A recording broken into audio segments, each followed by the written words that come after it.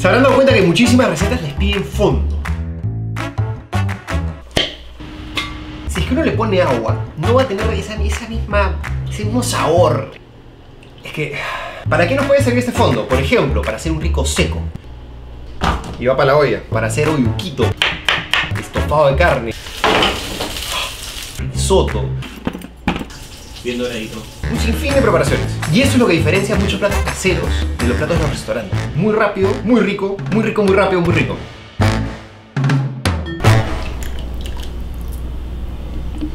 Vamos a hacer una receta muy sencilla de un fondo de res oscuro. Y acá tengo un par de kilos de hueso. Pueden ir al mercado, les va a salir extremadamente barato y las vamos a meter al horno para que se doren. Ese doradito le va a dar un sabor distinto. Al horno, mangueado. Acá no me interesa que se cocinen, sino lo que quiero es que se doren. Mientras que se doran esos huesos, tengo unos tomates, se quieren ir para el otro lado, y los voy a cortar como quieran, no se hagan muchas bolas. Los pueden cortar en 4, los pueden cortar en 8. Esta es una muy buena manera también de darle uso a ingredientes que están un poco tristes. Por ejemplo, este apio ya se quiere ir para el otro lado también. Acá lo vamos a reciclar. Le damos una rotura así, no muchas hojas. Ahí estamos bien. Y esto lo voy poniendo en mi ollita. ¿Qué tengo por acá? También tengo una zanahoria que está un poco chancada. La voy a cortar. Acá tengo la zanahoria. Y va para la olla. Lo que pueden hacer si quieren, estos mismos tomates, los podemos poner en el horno junto a la carne para que también agarre un poquito de color. Cebollas. Acá tengo dos cebollas. Que no voy a usar enteras, solamente voy a usar las capas de afuera. Esto acá lo voy a utilizar para un aderezo, para otra preparación. Y esto aquí es lo que voy a usar para mi fondo. La carne está lista. Toque más oscuro. Si se dan cuenta ya agarró color. Ahora falta el otro lado, le damos una vueltita. Recuerden que lo que queremos es que agarre color por todos los flancos. Por ahí les parece que es bastante chamba, pero la realidad es que es una vez al mes que pueden hacer esto y les dura bastante tiempo y en verdad vale la pena. Bien doradito. ¡Uh! Esto que me queda miedo.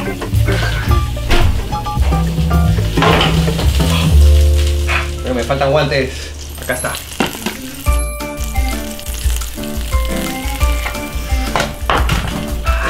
Aquí lo que tengo que hacer con este cucharón es sacar la carne, pero dejando la, grasa abajo.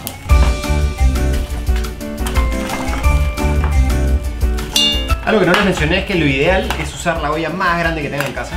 Cuanto más grande mejor, porque así pueden hacer más fondo. Agüita.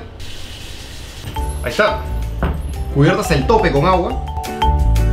Cubierto con agua por completo. Lo llevo a hervir. Fuego bajo. Queremos que vaya extrayendo todo el sabor que se pueda. Después de unas dos horitas y media o tres horitas y pico, esto va a estar listo. Lo único que tienen que hacer mientras que va hirviendo es irle sacando esa espuma que se va a formar encima, que son impurezas, y así es fácil de hacer un fondo de carne. Va para la hornilla.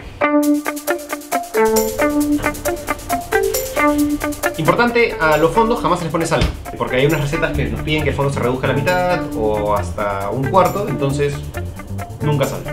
Ese fondo oscuro ya está, ha estado hirviendo más o menos unas 3 buenas horas. Se ha ido reduciendo, cada vez que se reducía yo le ponía un poquito más de agua, dejaba que se que, que siguiera hirviendo. Y este es el resultado, se los voy a traer para acá adelante para que vean. Acá. Esto acá. Huele increíble, tiene ya una textura. Ahora, lo que tendríamos que hacer con esto es agarrar un poco, el cual yo he desinfectado con agua hirviendo. Vamos pasando el fondo de esta manera y tenemos caldo para rato. Así, final. Tapamos esto bien. Acá tenemos entonces nuestro fondo. Detalle importante. Esto cuando enfríe le va a salir en la parte de arriba como una nata que va a ser la grasa. Esa grasa sáquenla antes de ponerle el caldo a la preparación. Y eso es todo. Este caldo así, ustedes lo pueden poner a lo que quieran, a la preparación que quieran.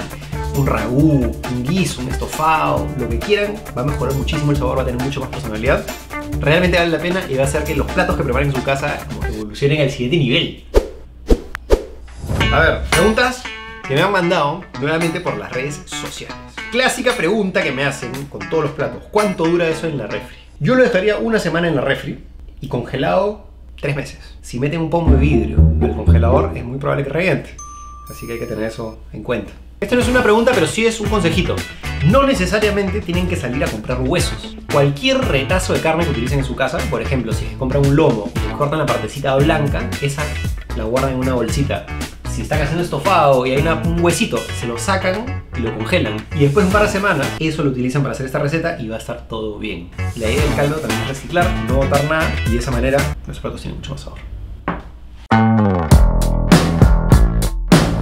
Cuando sale calientito de la olla, lo pueden poner en un pomo de vidrio como este. Se guarda presión, no sé si se, si se escucha.